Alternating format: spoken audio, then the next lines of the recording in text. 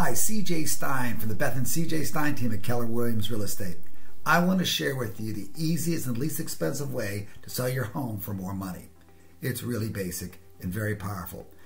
Think about this a home no longer is just a place to rest your head at night. It's a sanctuary, it's a workspace, it's a gym, and it's so much more. People have grown to expect more from their homes, especially after this transformative year of 2020. The way we view our living spaces has shifted, and as a result, the world of real estate has evolved. You see, people no longer just searching for a home, they are searching for a lifestyle. They envision a place where they can seamlessly transition from, let's say, the morning yoga session uh, in their home gym to a focused afternoon to a dedicated office and finally to an evening of relaxation. This vision is why staging has become indispensable tool.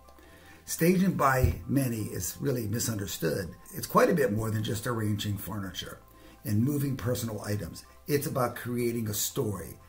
It helps potential buyers visualize the possibilities of each room, showing them how flexible spaces really can be.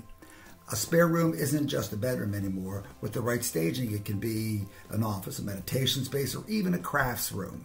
Staging helps take every nook and cranny cranny and just brings it to life.